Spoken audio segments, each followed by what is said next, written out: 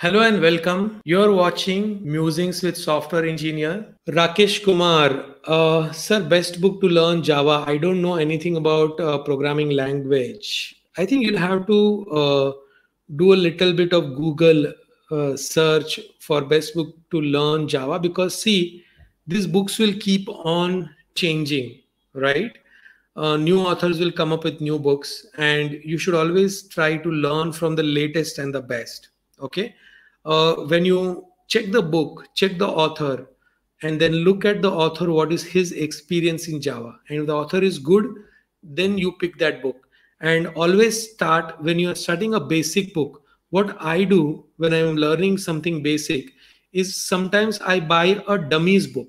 So, for example, dummies book or uh, Java first book. You know, there is a there is a series called Java first, .NET first, so you can buy this series. Like these are very basic beginner level books that will get you started. Once you understand the concepts really well after that then you start going into advanced.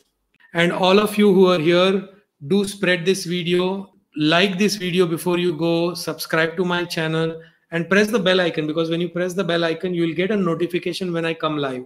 I'm coming live on the same time thursday 9 5 pm we will see see you in the next live.